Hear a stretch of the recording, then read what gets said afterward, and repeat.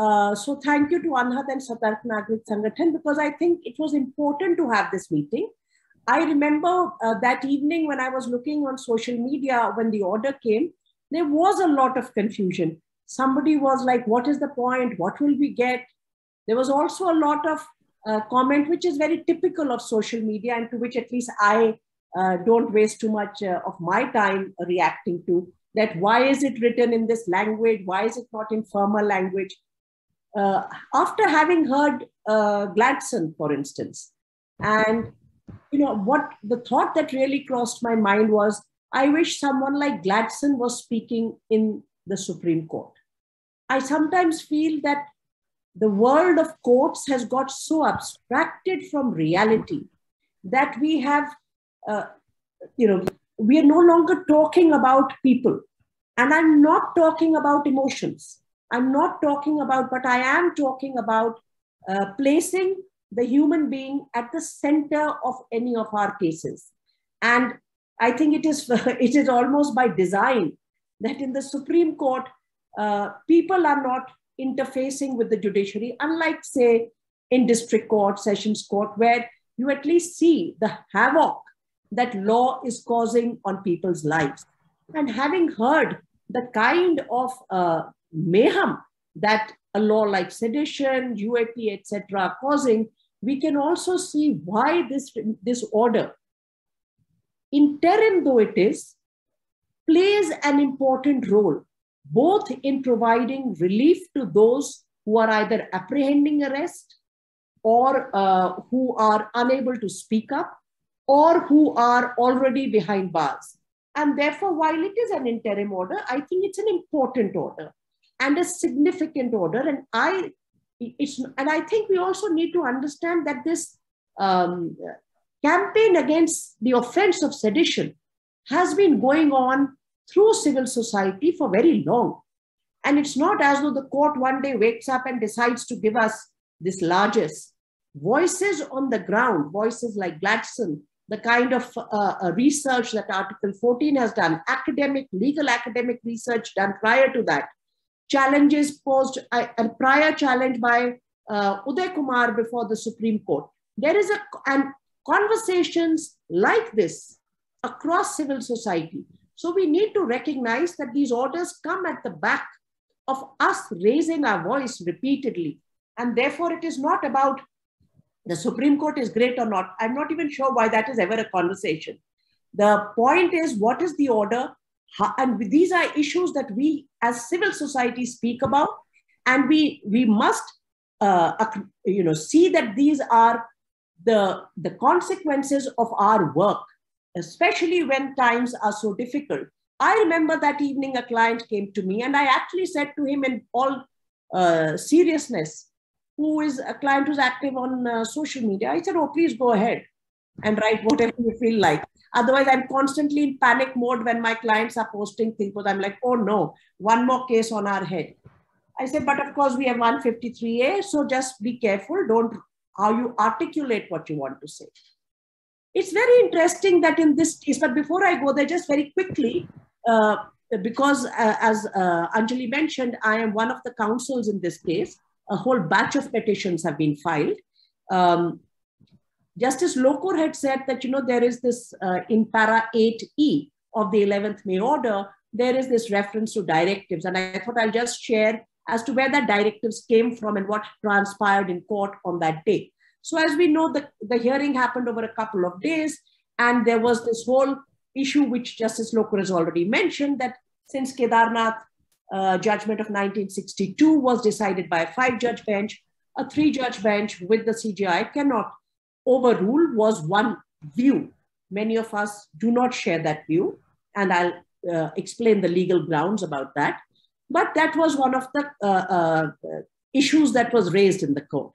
At that point, uh, the court made it clear, all right, while the issue of the reference, etc., is to be decided, why doesn't the state take some, uh, the state kept saying, you know, we can, we, uh, the court then said, why don't you do something if you're saying, you know, that you can look into this. And it was in that context that the state, the Solicitor General actually said, we can uh, issue some directives. of course, all of us urged the Supreme Court that it must be through a judicial order for a host of legal constitutional reasons. The, um, uh, uh, uh, the Solicitor General representing the Union of India cannot issue orders on what a state police can or cannot do, what the state judiciary can or cannot do. That would be a breach of the federal structure that our constitution provides us. And therefore, it was important that the Supreme Court must issue the orders. However, the court left it open if the union wants to issue any orders. The union, anyway, to my mind, was speaking in a forked tongue. There is an affidavit telling us that the prime minister is very cognizant of human rights. And there is a written submission on behalf of the Union of India, which is saying Kedarnath is very good law. So at the best of times, I find it hard to comprehend what the Union of India is saying in the courtroom. Uh, so I will not uh, waste energy on that presently. So that is what the directive was. It really doesn't matter anymore. I think the directives issued by the Supreme Court will hold. There are some uh, gaps there, uh, which have been already highlighted by uh, Justice Lokur, and perhaps in time people will come forward to the Supreme Court and secure clarification on those points. I want to move very quickly on who are the petitioners. And I think it's very telling. Two things I found were telling in the list of petitioners that we have. One that I myself, for instance, have filed on behalf of two women editors, Patricia Mukim, who is the editor of Shillong Times from Meghalaya, and Anuradha Bhasin, who is the editor of Kashmir Times from Jammu and Kashmir.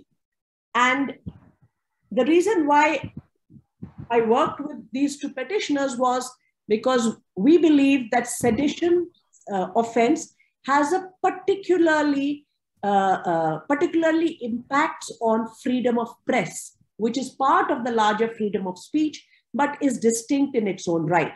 The press has always been held, including in judicial orders, to be the fourth pillar of democracy. We know the state of the press uh, um, in our country, and therefore the small, limited independent press that we have, media that we have, both electronic, print, otherwise, is also getting increasingly reined in and punished by through the offense of sedition. Secondly, because sedition and Article 19 look at issues of uh, security of the state, etc. Um, these two women editors work in areas where the state can claim that there are some concerns about national security, both in Northeast and Jammu and Kashmir. But interestingly, when I looked at the list of uh, petitioners, the Editors Guild of India, Foundation of Media Professionals, Sashi Kumar, a senior journalist, um, Arun Shourie and Common Cause. Then you have uh, Patricia Mukim and Anuradha Bhasin, who I mentioned. So we do actually have many members and two journalists who were themselves facing sedition, Kishore Chandra Wangkhemcha and Kanhaiya Lal Shukla from Manipur. So these were all members of uh, the press who actually have come forward. So clearly the press was feeling the impact of the sedition offense very grievously, both in discharging its professional duty and being able to inform and speak. The other petitioners are People's Union for Civil Liberties. PUCL has also issued a very important statement pursuant to the order of 11th May, highlighting both what the order does and what are the possibilities which Justice Lokur also drew our attention to about how other provisions, other penal laws, other draconian laws like UAPA, etc., can, will, and do continue to be used um, in a malafide manner by the state. Another very interesting petitioner uh, is Major General S.G. Vombatkere, and his is the lead petition. And I think uh, uh, uh Mr. Vombatkere is actually a very important uh, petitioner for the court also to reckon with. He was also the petitioner who challenged uh, the Aadhaar Act, and he has systematically fought and come before the court for freedoms.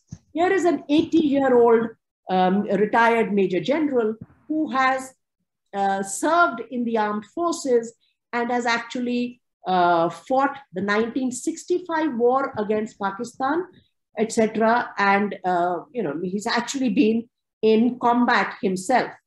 So, he, and he said in, a, in the interview uh, after the order, he said that why do we fight on the borders of the country? Why do we, why am I as a soldier willing to sacrifice my life so that people in the country can enjoy freedoms and the independence?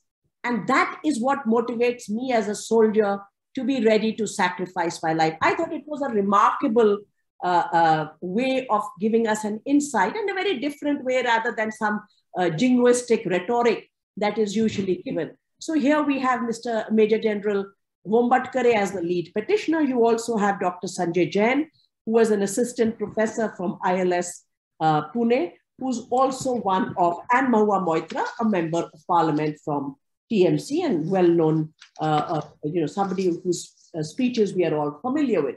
So these, this is the cast of characters that is before. And I think what is telling, which strikes me particularly after listening to Gladson, there are two things. One, of course, that there are a large number of members of the press. The second, that individuals have found it very difficult to come forward.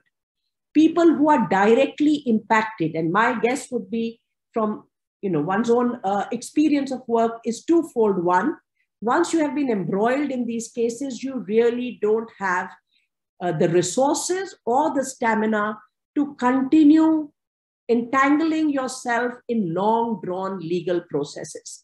So, what comes before the court is then representative in character.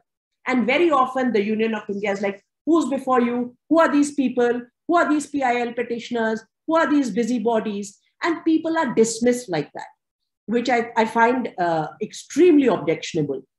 It is really these people who are able to come forward in a representative capacity because those who you have targeted, you have actually been able to target them so severely that they no longer have the stamina and I, I they definitely have the the uh, uh, capacity but the capacity to come forward and embroil while you are actually dealing with your own cases and trying to see what to do with them. So there is a reason why the individuals, whether in Jharkhand or in Tamil Nadu, find it hard. And I think that's what I mean when I say sometimes perhaps the Supreme Court is so removed from reality that it's it doesn't know what the what their lived experience of ordinary, particularly marginalized groups in this country has become. And that, that is what these representative groups try to take to the court. Of course, we know that in a court of law, it is the grounds on which, the legal grounds on which a child, and I'm going to take five minutes just to uh, uh, talk about them. So, what we know it's a colonial provision. It came actually in 1870. It was in Macaulay's draft. For some reason, it didn't appear in the 1860 law. And then James Stephen introduced it in 1870. So when India becomes independent and the constitution comes into being, it is a watershed moment recognized by the constitution. And thereafter, every provision, every offense, every law must meet the test of constitutionality. Otherwise, it must be struck down. That is the principle. And fundamental rights chapter comes in only for one purpose to, to rein in the power of the state to center stage persons' uh, uh, liberties and freedoms of citizens and to ensure that the state cannot have excessive or arbitrary power and must be accountable to all citizens. And that is and, and for that the power of judicial review for, of the constitutionality of a provision is given to the Supreme Court or to the High Court, both constitutional courts. The Kedarnath judgment was decided at a time when, and we know that the, the Constitution of India is a dynamic constitution through interpretation. It has been transforming itself as our understandings grow and as we as a republic grow. When Kedarnath Singh was decided, the, the reigning understanding of the court was that you have to show whether an offense or any provision of law is violating any singular, every singular uh, um, article fundamental right guaranteed in chapter 3. That understanding changed in the 70s with what is called the R.C. Cooper judgment of 11 judges and said that you have to take 19, 14, 21 articles all together and you have to see whether the challenge that is given, what is its impact? What is it, its, its effect on lives of people and not just what the objective was? Secondly, these are not in silos. These freedoms move together and they don't exist in watershed compartments. And that new understanding are when we are saying before the Supreme Court that you don't need to go to a larger bench. It is because what was good law at the time of Kedarnath is over. 11 judges overruled it in 1971.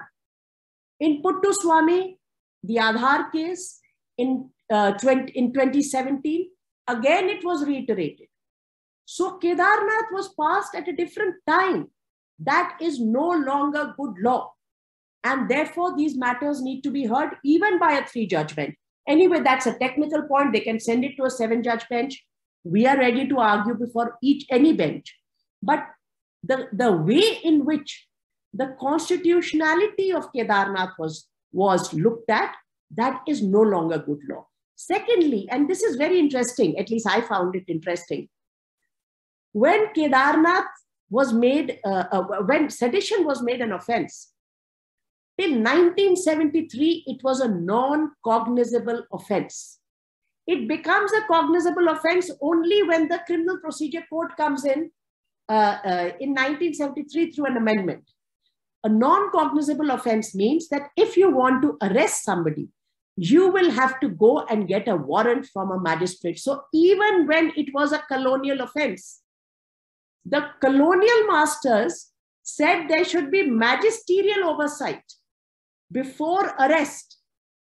And in 1973, it becomes a cognizable offense. Of course, it was always non bailable. It becomes a cognizable offense. And then the police just gets up and whatever tweet, message, whatever they don't like, whatever their political masters don't like, and lo and behold, arrests are being made because, you know, police really has nothing better to do in this country. And it's interesting that this shift to, to cognizable, this was not there in 1962. This happens in 1973. So the offense that was tested in Kedarnath is not the same offense. It's a different offense. The third, third point, which I want us to just think about Look at the sentence that the sedition offense carries. There is no provision in the entire Indian Penal Code which has this kind of sentence. You can be sentenced for life imprisonment with fine. And we know that in India, life means life, not 14 years, what Hindi cinema has been telling us. Life imprisonment with fine, or three years, or three years with fine, or only fine. So I can be sentenced only with fine or I can be sentenced with life imprisonment. Has anybody ever seen this range of sentencing in any offense in the Indian Penal Code? I have not seen it. And I checked it very thoroughly for this uh, uh, matter. And there is no sentencing guideline. It doesn't say that if you are going to say these kind of things, because after all, it's all about words and, and visual representation then it will be, uh, you'll get a higher sentence. It doesn't say anything like that. It just gives this, so it gives unbridled judicial discretion that you can go ahead and um, give any sentence depending on without any guidance to the judiciary either from the legislature or sentencing guidelines the other aspects are a little uh, uh, one other aspect, and the rest are too legal and technical. I won't go into it. Look at the offense, the way it is drafted. So, the cardinal principle of criminal law is that the offense must be drafted with precision. Because you cannot have an offense that has some dhila dhila definition, and because then nobody will know whether an offense is being committed or not. And why I should know what the offense is I should be informed by law. so that I know what I'm not supposed to do. Now, the words used are so overbroad, they are so vague, they're completely, it's impossible to have a precision with which to read them. And that is what gives the state and its agents complete arbitrary uh, uh, uh, you know, playground for malafide and vindictive arrests. For instance, the word like disaffection. And I would disagree with Justice Lokur. I think there is a huge difference between government established by law and state, and we should not concede that distinction. I can have disaffection to government established by law. I am a citizen of this country. I am casting a vote. I may not have voted for this government. I can openly stand and say I have disaffection to the present government. It is not an offense. It cannot be an offense in uh, a democracy. Otherwise, how can you be a democracy? So, words like disaffection, which Kedarnath tried to narrow down and say only if there is an intention or tendency to incite violence. And we know what has come of that. Gladson has told us, uh, uh, uh, Udayakumar will tell us more, and we all have different experiences of different states. What the Supreme Court writes and what the policeman and the politician does on the ground, because nobody is held accountable, there is mayhem going on in the name of the authority that they have. And therefore, I will stop there to say that this provision needs to go because it is legally unsustainable. And while welcoming the order of the Supreme Court, with the gaps that it may have, I still think it's a significant and important order. Our campaign to repeal sedition and all other draconian provisions must continue and I hope the Supreme Court hears the matter at the earliest. Thank you.